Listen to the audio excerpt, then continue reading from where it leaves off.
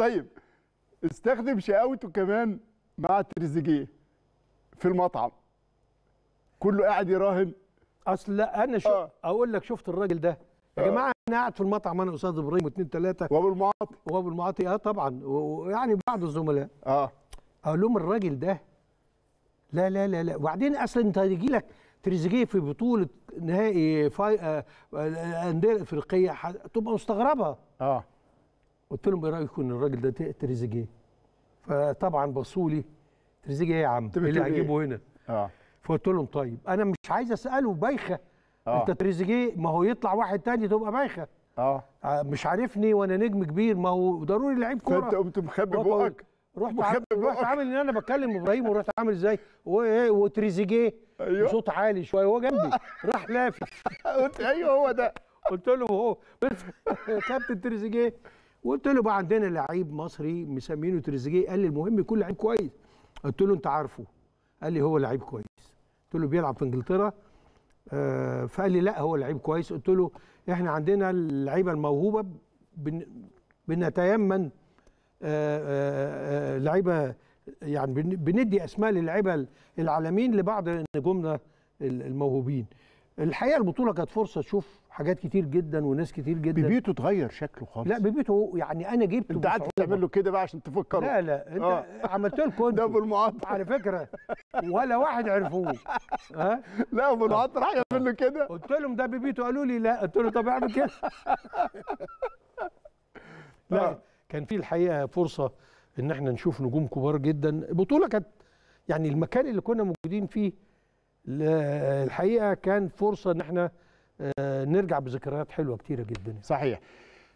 المباراة الأخيرة يا جماعة خدوا بالكم المهندس عدلي ما راحش أول مباراتين. وقاعد قال إيه فاكر ان هو هيتفرج عليهم في التلفزيون في الأوضة. اكتشف إن كمان ال- ال- التلفزيون مش ناقل البطولة. فلازم يجيب الموبايل أو يجيب التطبيق بتاع ال- المباريات. عملت إزاي؟ قعدت أنت؟ لا أنا هقول لك بقيت أتابع من خلال التليفون. على المواقع. على المواقع وكده.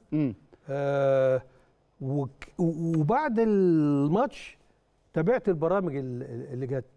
فيها بعض الهايلايتس اللي جوان وقاعد مستنينا في ال- في ال- والتعليقات وقاعد مستنيكوا بقى عشان اعمل نفسي شفت الماتش وبقى واحكوا فيه.